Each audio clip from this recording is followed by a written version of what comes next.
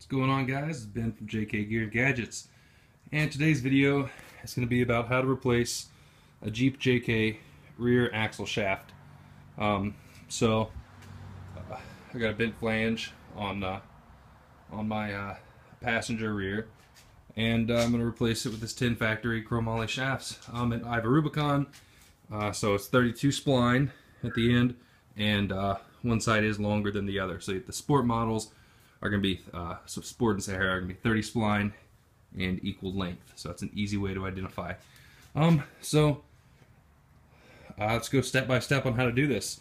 Uh, hopefully you buy, you bought the shafts that already had everything pressed in. Uh, if the studs weren't pressed in, you can either hammer those in or use a ball joint kit and press them in with an impact gun or press, uh, whatever. There's many different ways of doing that. So let's go ahead and take the tire off and uh, get started. Okay guys, so now that we got the uh, tire and wheel off, our next job is take the brake caliper off, which is a uh, 18 millimeter uh, bolt right there. There's one here and one down there. Uh, you probably have to use a wrench because of socket. I was going to hit your sway bar link on the lower and upper side. So uh, yeah, we're going to take those two off. they should be pretty tight but let's go ahead and get both those off. All right, now that we got the brake caliper off, we're gonna set it on something so there's no tension on the line.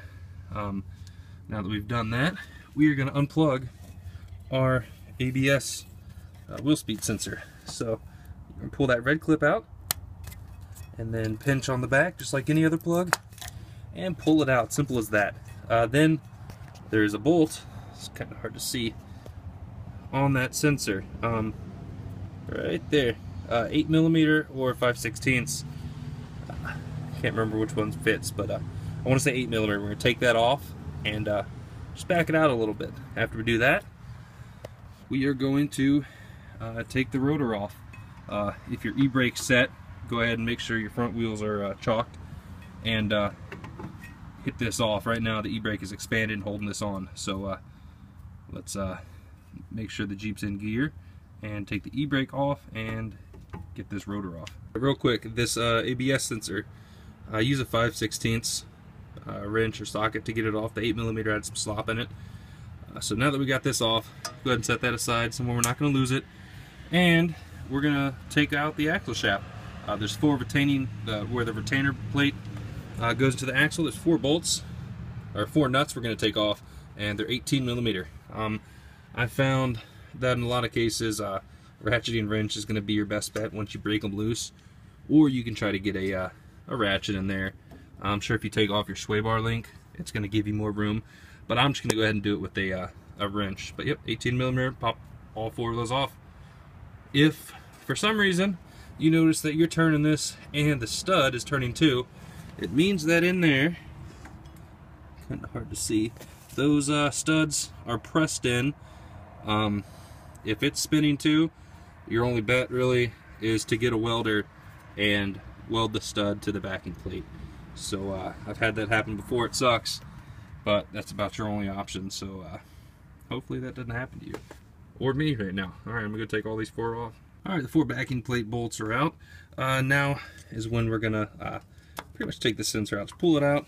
Um, you can see in there where it uh, has the air gap for the tone rings right there. Uh, we're just going to pull it out, making sure it's not hitting anything. And uh, it almost doesn't even have to come all the way out. Uh, just right there until you can see that it's clear in there. I know in the video it's really hard to see. The lighting's not so good. There we go. But uh, in person you'll be able to see if it clears this plate, the silver retainer plate. So now that everything's off, the sensor's off, we are going to pull this out. Um, but before I do that, I want to mention something. Uh, I am replacing my shafts with Ten Factory, and as you can tell, I have Ten Factory in here. Um, you know, I want to say they, they have a great warranty. Uh, they warranted these shafts. I have a bent flange. And what that means is that this uh, this flange isn't true. Um, it wobbles now. Uh, they are great shafts. I put my Jeep through a lot of stuff. Uh, I really beat on it, so I know you guys don't see any videos of it, but usually when I wheel, I don't have anybody to video me. Um, but I'd like to give a shout out to Ten Factory for warranting the shafts. Uh, it's not their fault. It's a semi-float axle. You know, uh, it's one of the drawbacks of a semi-float. Uh, full float, you know, you don't have all the stress on the on the shaft itself. It's on the housing. So uh, if you're not familiar with full float versus semi-float axles, there's a lot of videos out there. I'm not going to go into detail now, but uh, having uh, bent flanges is problematic with a semi-float axle. So I'm gonna go ahead and pull this out. Uh, should only take a couple whacks with a mallet. Uh, if you do have trouble, grab your uh, your rotor, put it on backwards, and uh, screw a few lug nuts on, three or four, and then uh, you can really beat it with a mallet that way, or use a slide hammer. Uh, either one. I usually use the brake rotor on there. So if I can't get this out, I'll throw the brake rotor on, but uh, hopefully this will slide right out. Be careful. There is going to be gear oil that's going to come out, so have something to catch it, or do like I did and jack this side up higher than the other so the gear oil is running that way. Man, my phone's doing something crazy with the lighting here. All right, so uh, yeah, pull this out. So as you can tell, I had to use the brake rotor to hit it. I only took a few hits after that. But yeah, you put it in backwards and put a few lug nuts on and you can really get uh, some good swings with a rubber mallet. Uh, don't hit this with a steel uh, mallet or anything. You don't want to, unless you don't plan on reusing the rotors. So uh, yeah, now this is out. I'm going to take it out and remove the bearing race from inside the axle. I'll show that here in a minute. But uh, yeah, let me go ahead and take the axle out and uh, clean up all the uh, gear oil. Alright, so here's inside the axle tube. You want to make sure that you remove the bearing race. Um, it is okay if this is hand tight. Uh, most of the time it is on uh, JKs. But if for some reason it's not, uh, you're going to want to be... Oh, mine got it out. I was kind of hoping it was going to be stuck. Um, but you can just pull it out hand tight by working the corners and just slowly pulling out a little bit at a time. Uh, if it's not in there hand tight and it's uh, frozen, you're going to want to get a bearing puller or something uh, that can catch on this lip and you can uh, pull it out without uh, without scratching the inside here of your axle housing. Uh, you want that to be a nice smooth finish. If it is scratched, when you're done pulling this off, get some emery cloth um, and polish it up nice and smooth. So we're going to remove this and uh, start to install the axle shaft. Alright, so grab the new shaft, make sure they're equal length for you Rubicon guys. You don't want to grab the short end. And what we're going to do is simply slide it in and uh, make sure the splines light up inside the carrier. Uh, you don't want to damage the splines on these while putting it in, so guide it in careful. Uh, another tip real quick is if the bearing race which right now is on there. Uh, that's what was inside the housing. If that's really loose, uh, you can always take it off the axle shaft first, put it inside there, and then install your axle shaft. Um, I'm probably going to do that because I like to make sure that the make sure it's in there all the way, and I'm not trying to uh, press it in with the torque of the backing plate. So I'm going to take the uh, the race off and put it inside the housing. Slid it in. I know I said I was going to put the uh, the race in there first, but the bearing was so tight on the shaft, I couldn't even get the race off, so I figured I'm not even going to worry about it. I got it lined up. Retainer plate holes are lined up, and uh, I'm just going to push her in. Um, and if once she's in by hand, just give her a few light, light taps with the mallet, uh, just evenly around each corner. Make sure the bearing goes in nice and smooth. Also, watch for your sensor if you didn't fully remove it. So, I'm to put this in and start the nuts on the retainer plate. Look up torque, spec, torque specs for those nuts and then for the caliper bolts. And then after that, video's over, man. You can figure, figure out the rest.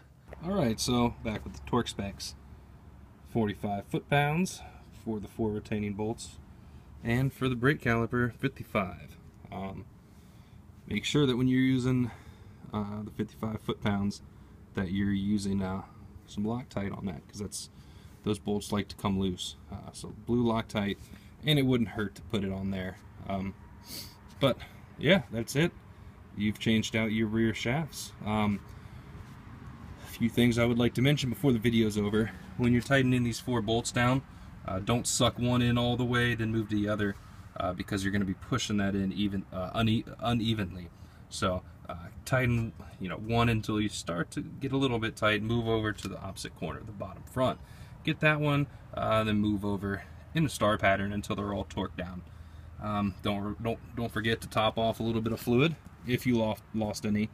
Uh, now would be a great time to change your rotor and pads, uh, especially if you have a bent flange, because your uh, brake rotor is gonna develop that wave to it as well. So I'm gonna change out my rotor, my pads, top off fluid, torque all this down, and we are done with today's project. Perfectly as the uh, sun is setting. Tomorrow, I'm gonna go knock out the other side. But uh, yeah, pretty easy to do. Um, you could do it at home in your driveway. Doesn't require much tools, and once you've done it once, you're pretty much a pro. So, and uh, yeah, I got a lot of projects coming up. Uh, not much that are video worthy. Need to replace this shock. As you can tell, it has a nice curvature in it from uh, backing up into a nice little rock up at Rausch Creek.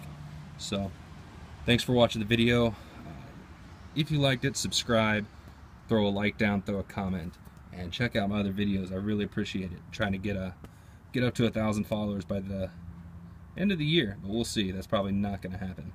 Um, so take care, guys, and be safe out there.